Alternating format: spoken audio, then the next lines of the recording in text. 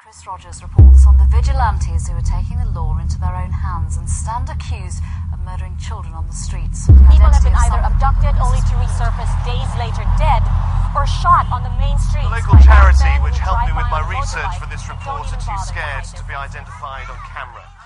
They've documented. You may find some of the